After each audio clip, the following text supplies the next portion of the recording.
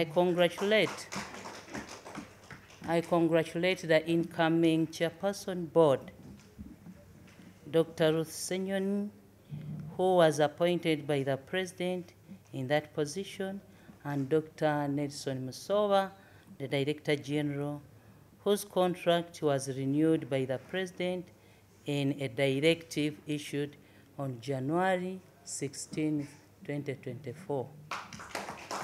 With the benefit of the hindsight, I wish we could have spent more time on ensuring that there are no babies born with HIV, as well as preventing the young people from acquiring HIV. However, the main challenge has been financing and sustainability of the response. The resources remain inadequate to, to reach the entire population, especially the youth outside of school and cultural institutions close the tap on new infections, especially amongst young people, test and treat all those who are positive,